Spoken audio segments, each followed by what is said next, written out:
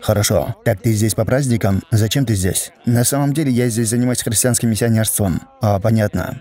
Да, мы с другом просто ходим здесь.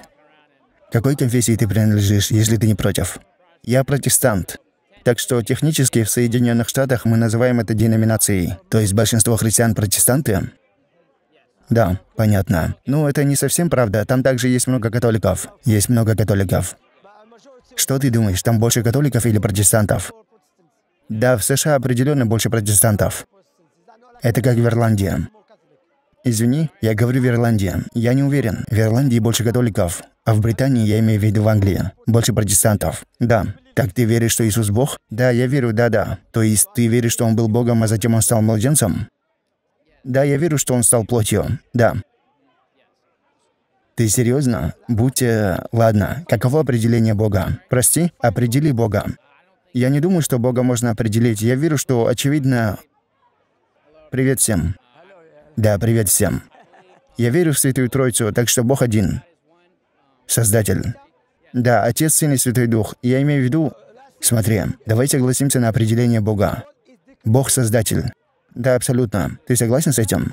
У Бога нет начала и нет конца. Ты согласен с этим? Да, несомненно. Бог самодостаточен. Да, Он самодостаточен. Он не нуждается ни в ком, но все нуждаются в нем. Хорошо? Так что, рассуждая логически, если мы согласны с тем, что Бог Творец, тем самым мы опровергаем, что Он был сотворен.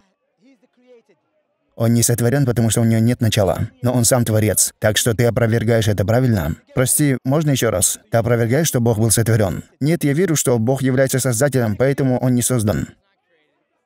Поэтому я верю, и я думаю, что это классическое ортодоксальное христианство. И это в Евангелии, что Бог не сотворенный. Бог пришел жить на землю как человек, и мы верим, что Он на 100% Бог и на 100% человек. Да, мы придем к этому. Но сейчас, когда мы говорим, что Бог самодостаточен, это всегда или иногда? Все время. То есть все время. Это его божественная природа. Он ни в чем не нуждается. Нет. Поэтому, когда он стал младенцем, природа младенца нуждаться в людях. Так что ты сказал мне, что Бог самодостаточен все время. Он не нуждается ни в ком. И в то же время ты сказал, что Бог стал младенцем, плотью. По определению это называется парадокс.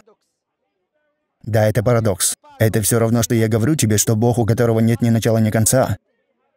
Возможно ли, что Бог, у которого нет начала, быть тем же самым, у которого есть начало? Я думаю, то, что ты говоришь, хотя, опять же, это то, во что мы верим. Бог не всегда был, но Он стал человеком вопреки этому. Он не на 50% Бог и не на 50% человек. Я верю, что Он на 100% Бог. Но это тоже парадокс. Потому что 100% человек означает, что когда Бог становится человеком, он должен потерять свои божественные атрибуты, чтобы стать человеком. А если он не потеряет божественные атрибуты, он никогда не станет человеком. Потому что, чтобы стать человеком, ты должен стать человеческим существом. А человек по определению не может обладать божественными атрибутами. Точно так же Бог не может обладать человеческими атрибутами, как сотворенный. Поэтому мой вопрос был к тебе. И это аят в Коране для размышления. Это сильный аят. Это Аллах сказал об Иисусе и его матери Марии. Он сказал, «Кяна якуляни таам». Они оба употребляли пищу. Почему Аллах упомянул это? Потому что это противоречит естеству самодостаточного. Потому что если кто-то нуждается в пище, ему нужна еда, чтобы выжить. А это не природа всемогущего, кто все время самодостаточен, у которого нет ни начала, ни конца, кто все время совершенен. То есть ты говоришь мне, что Бог, который совершенен все время, стал несовершенным? Это то, что ты говоришь. Ладно, мы верим, что... Ты ведь веришь в грех, верно? У всех у вас тоже... Вы все называете это грехом или правонарушением. Я предполагаю, ты мусульманин. Ты исламской веры или другой? Как ты думаешь? Конечно, я мусульманин. Альхамдулилля. Я только что цитировал тебе Коран. Да-да, я мусульманин. Да, мы верим в грех, но мы не верим, что мы родились грехами. Нет, мы верим, что люди рождены безгрешными. Безгрешными? Да. То есть они уже позже выбрали грешить? Да, Аллах дал нам способность выбирать, грешить или не грешить. Так ты веришь, что ты грешен? Это другое дело, потому что с точки зрения ислама мне не разрешено разоблачать. Мне не разрешено никому рассказывать свои грехи. По исламу, если я совершил грех, мне не нужно говорить тебе, моему отцу или матери. Но то, что я должен сделать, это покаяться перед Создателем и совершать праведные деяния. Но если я обидел другого человека, я должен пойти и попросить прощения у него. Условия раскаяния. Говоря по исламу, я должен пойти и извиниться перед ним. Смотри, я раскаиваюсь перед Аллахом, но есть другие условия, потому что я обидел человека, потому что я обидел его, я отнесся несправедливо к нему, я должен извиниться перед ним. Ты понял? А что касается судного дня, ты веришь в судный день, верно? Да, мы верим, но со всем уважением ты переводишь тему. Ладно, только пара вопросов. Но перед этим ты должен согласиться со мной. Потому что, знаешь, я показываю тебе, смотри, если основы Напомни твое имя. Стивен. Стивен. Мое имя Шамси, чтобы ты тоже помнил. Стивен, я говорю, если тебе трудно понять основу, потому что она не имеет никакого смысла, я со всем уважением. Смотри, чем разумно отличается ислам от любого другого образа жизни? Ислам соответствует нашим универсальным знаниям. Что я имею в виду под универсальными знаниями? Универсальные знания — это то, чем обладает каждый человек. Каждый человек знает, что это нелогично и иррационально, и невозможно быть совершенным все время. Но да слушай до конца. Невозможно для кого-то быть совершенным все время и в то же время быть несовершенным. Ты согласен с этим? Это не имеет никакого смысла. Да, но я думаю, что ты имеешь в виду под несовершенным? И снова, я не думаю, что Иисус был несовершенным. Ведь это грех думать подобное о всемогущем Боге. Нуждался ли Иисус в своей матери, чтобы выжить? Да, конечно. Нуждается ли Бог в людях? Да, в его человеческом виде. Конечно, он нуждается в чем-то. Нет, я говорю Бог, Бог. Нуждается ли Бог в людях? Нуждается ли Бог в людях? Да, нуждается ли Бог в людях, чтобы выжить? Нет, всемогущий Бог показывает, и опять же, я не слишком знаком с исламом, так что прости меня. Да-да, нет проблем. Я думаю, что это надежда, которую я нахожу в евангельском Боге. Он не тот, кто находится там наверху и смотрит на мир сверху вниз и просто думает, о, плевать на них. Мы верим в Бога, который спустился и на самом деле жил среди нас и присоединился к нам в нашей боли, в настоящей человеческой боли, и ходил как человек и отдал себя на распятие за наши грехи. Альхамдулилля, мы не верим в подобного Бога. По исламу мы верим, что Аллах Бог всего. Но он очень далек от нас. Нет-нет, это не так. Аллах сказал в Коране. Знаешь, что Аллах сказал? «Инна Аллаха карибум миналь мухсинин». Аллах очень близок к праведникам. Аллах близок ко всем людям с его знанием, милостью и прощением. И если ты совершишь грех, Аллаху не нужно никого убивать. Но Аллах прощает грехи, потому что Он может прощать грехи. Потому что что такое милосердие? Милосердие — это... То есть он может прощать грехи, но он не прощает все. Нет, Аллах прощает все грехи. То есть все будут на небесах? Нет, нет, нет, но есть условия для этого. Значит, Аллах любит всех, Он заботится обо всех. Он заботится обо всех. Поэтому даже люди, которые не верят в Аллаха, Аллах все равно. То есть Он может прощать, но... Да слушай до конца. Позволь мне ответить. Аллах прощает всех, но с условием, если они просят прощения. Если человек не ищет прощения, он поклоняется идолам, он язычник, он последователь сатаны и не хочет просить прощения, не вини Аллаха, не вини Творца. Я имею в виду, когда я говорю «Аллах любит всех», Аллах любит добро для всех. Аллах проявляет милосердие ко всем, даже к атеистам. Но я хочу сказать, ты говоришь, что твой Бог стал несовершенным. Он стал человеком, но человек совершенный или несовершенный? Ты говорил о парадоксе. Я думаю, то, о чем ты говоришь, является парадоксом. И это вопрос-ловушка. Это не так. Здесь все ясно. Есть много то, чего мы не знаем о Боге, чего мы не можем понять. Я думаю, что если мы сможем логически систематизировать все о Боге, ваш Бог может быть слишком маленьким, и он может быть слишком рукотворным. Смотри, что мы здесь делаем, Стив? Мы не говорим о чем-то, чего мы не знаем о Боге. Но мы говорим о том, что мы знаем о Боге. Мы используем те знания, которые Бог дал нам через Его Писание. И используем это знание о Нем против любого утверждения. Ты и я, мы знаем, что Бог совершенен все время. Поэтому теперь, если ты скажешь мне, что Бог, который сказал, что Он совершенен все время, и в то же время Он становится ребенком, по определению это парадокс, это противоречие. Я не спрашиваю тебя, как выглядит Бог, потому что это выше наших сил. Мы не знаем, как Он выглядит. Ты говоришь, что младенец нуждается в матери.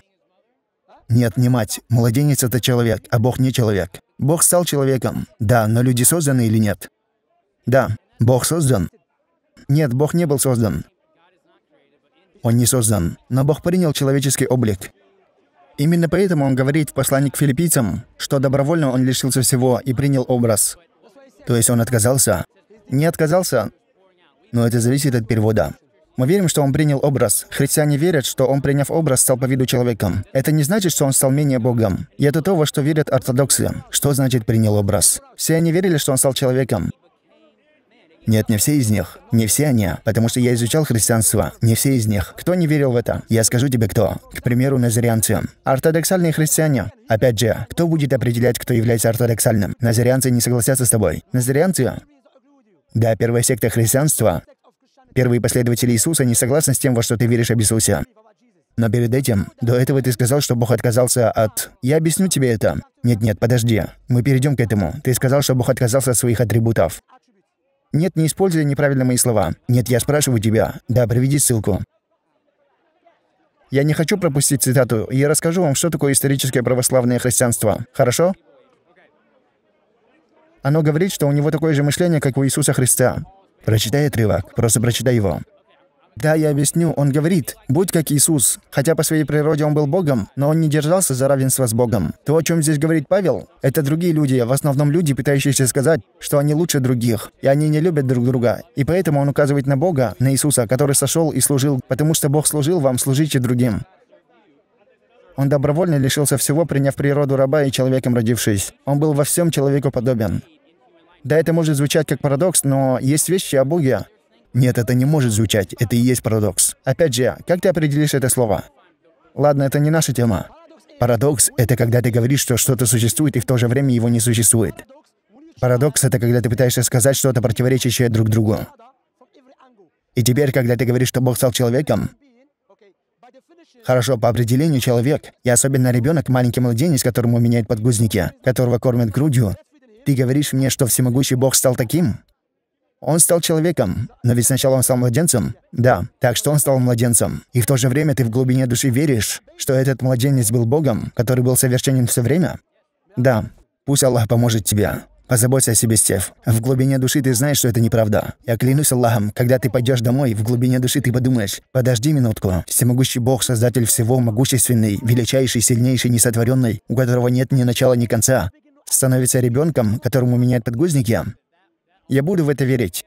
Упаси Аллах. Этот всемогущий Бог спустился как человек и стал младенцем, чтобы спасти вас. Ладно. До этого, прежде чем он стал младенцем, спасал ли он людей до этого? Да, спасение. Так что ему не нужно становиться младенцем, чтобы спасти людей. Он сделал это, он сделал это. Послушай внимательно. До того, как он стал младенцем, в соответствии с твоей верой, что не имеет никакого смысла. Прежде чем он стал младенцем, согласно Библии, если ты обратишься к Ветхому Завету, тебе не нужно верить, что Бог становится младенцем. Пока ты совершаешь праведные деяния и каешься перед Богом, этого достаточно. Куда ты уходишь? Куда ты уходишь? Я не... Ладно, смотри. Ветхий Завет ясно учит тебя, что если ты покаешься Богу и прекратишь совершать грехи, тогда Бог спасет тебя и простит. Поэтому этот аргумент, что Бог стал человеком, чтобы спасти нас, полностью ошибочен. Раньше он никогда этого не делал. Этого никогда не было. Отец никогда не становился младенцем, согласно твоей вере, но ты Иисус был младенцем. И согласно Иисусу, кто является истинным Богом? Согласно Иисусу, не согласно тебе или твоему священнику в церкви. Согласно Иисусу, кто является истинным Богом? Мы верим, что Иисус считал себя истинным Богом. Так что Ладно, согласно Иисусу, Иисус сказал, что единственный истинный Бог — это Отец. Ты сказал, что Иисус верил, что Он был истинным Богом. Но Иисус сказал, что единственный истинный Бог — это Отец. Поэтому если Он сказал, что это Отец, позволь мне спросить тебя, Иисус — это Отец или Сын? Кто Он? Иисус — это Сын. Он не Отец, не так ли? Да, Он не Отец. Поэтому, когда Иисус сказал, что единственный истинный Бог — это Отец, здесь Он не говорит о себе, потому что Он уже заявил нам, что Он не Отец. Поэтому кому мы должны верить? Иисусу, который сказал, что единственный истинный Бог — это Отец, или тебе, кто говорит, что Иисус — это истинный Бог? Могу я, могу я возразить этому пункту? Во-первых, я не совсем уверен насчет этого стиха. Я думаю, что это Вионня. И это может быть вырвано из контекста. Нет, это не вырвано из контекста. Я покажу тебе. В Йоанне и также в Исходе 3.14 Бог сказал, что его имя Яхве, прежде чем он сказал Ахве, что означает «я». Он сказал, что это его имя в Йоанне 8.52 и 54. Ты не отвечаешь на мой вопрос, Стив. Иисус сказал, что единственный истинный Бог — это Отец. Ты согласен с этим? Покажи мне стих, покажи мне стих. Опять же, это в контексте. Я прочитаю тебе контекст, я прочитаю контекст.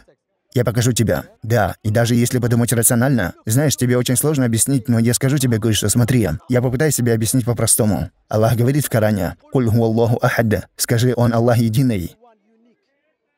Прости? Единый. Он только один, уникальный. Аллаху Самад. Аллах самодостаточный. Он ни в ком не нуждается, но все мы нуждаемся в нем. Лям ялид ва лям юляд. Он не родил и не был рожден. Никто не родил его, и он не родился, и он не рожает никого. Валям якулляху куфуан ахад. И нет ничего подобного ему. Он творец, мы творения. Нет ничего подобного ему. Это ясное описание Творца в Коране, и любой может понять это. Человек, который учится в университете, может понять это. Пастух на ферме может понять это, ребенок может понять это. Но ты приходишь ко мне с твоей верой и говоришь, что Бог совершенен, и в то же время Он несовершенный человек, Он младенец, которому меняют подгузники. Отец — это Бог, Сын — это Бог, но есть только один Бог. Но Святой Дух — это Бог. Сын говорит, истинный Бог — это Отец. Иисус — это Бог, но Он не знает часа. Ты не можешь объяснить это. Смотри, приходи к исламу. Он имеет смысл, здравый смысл. Я покажу тебе, Иисус сказал, что единственный истинный Бог — это Отец. Я думаю, что вы все исламской веры, правильно? Это просто вопрос, который у меня есть. Я действительно хотел бы узнать. Да, но ты можешь говорить со мной, не обязательно говорить с людьми вокруг. Могу я? Только пара вопросов, пожалуйста. Можешь спрашивать меня без проблем. Что в исламе дает вам надежду? Знаете, когда вы просыпаетесь каждый день, я знаю, как христианин, у меня есть надежда, что Иисус любит меня и что Он пришел умереть за меня. И я хожу с Ним каждый день, когда... Что ты делаешь? Ты ходишь с Ним? Нет, серьезно, как будто показать тебе слова Иисуса в Иоанне. Что в исламе дает вам надежду? Аллах дает нам надежду. Ладно, кто дает надежду Иисусу? Прости, кто дает надежду Иисусу? Это Отец, абсолютно. Ты надеешься на Иисуса, но Иисус надеется на Отца. И мы надеемся на того, кого ты называешь Отцом. Мы следуем за Иисусом, а ты не следуешь за Иисусом. Иисус, у него была надежда на Отца. У тебя надежда на Иисуса. У всех нас, мусульман, надежда на того, кого ты называешь Отец. Ладно, еще. Так что кто последователь Иисуса? Это мы. Ладно, это имеет смысл, я понял. В последний день, в судный день, у вас есть уверенность и убежденность в том, что Аллах, которому вы поклоняетесь, примет вас в свое царство в последний день? Да, но по его милости, великодушию. То есть это гарантированно? Да, мусульманам гарантирован рай. Аллах сказал в Коране, что мусульмане войдут в рай и будут удостоены этой чести. Сейчас Иоанн. Иоанн, ты хочешь увидеть стих? Еще одна вещь. Спасибо. Я думаю, и снова моя надежда, моя надежда на Иисуса. Но последний день — это самая важная вещь. И поэтому, какое бы решение вы ни приняли, просто знайте, что у вас есть действительно веская причина. И это может быть это. Если вы действительно считаете, что у вас действительно веская причина отвергнуть Иисуса, и вы знаете, посмотрите сами, что сказал Иисус, и тогда решите. А не следуй за Иисусом. Это ты не следуешь за Иисусом. У Иисуса была надежда на Отца. У нас есть надежда на того, кого ты называешь отцом. Доброго вам дня. А что насчет Иоанна? Иоанн, мне действительно нужно идти, а прочитать стих из Иоанна. А что насчет Иоанна? Иоанн. В любом случае, я прочитаю его людям. Иоанна 17.3. Это и есть жизнь вечная, чтобы они знали Тебя, Отца, единственного истинного Бога Иисуса Христа, посланного Тобою. Знаете, субханаллах, он знает, что это правда вредит ему. Так что он сделал? Он ушел. И мы просим Аллаха, чтобы он направил его. Смотрите, субханаллах, я упоминал это раньше. Никто не может отвергнуть ислам разумом потому что ислам соответствует нашим здравым рассуждениям и нашим естественным склонностям. Люди отвергают ислам по двум причинам. Либо это психологический фактор. Это означает, что он либо слишком высокомерен, чтобы принять истину, или он смотрит свысока на пророка Мухаммеда, потому что он был родом с арабского полуострова, и он думает, что он из западного мира, он лучше. Это один из факторов. Либо он лидер людей, и он не хочет терять положение. И второе, как это называют? Социальный фактор. Что означает социальный фактор? Он означает, что если он примет истину, что с ним случится? Его семья пойдет против него. Так что это мешает ему. Но когда кому-то делают дават, он говорит, что это имеет смысл. Я верю в истину. Но почему тогда ты не принимаешь ее? Но он никогда не скажет разумом, что это не имеет смысла. Альхамдулилля. Он просто убежал, субханаллах. Пусть Аллах наставит его.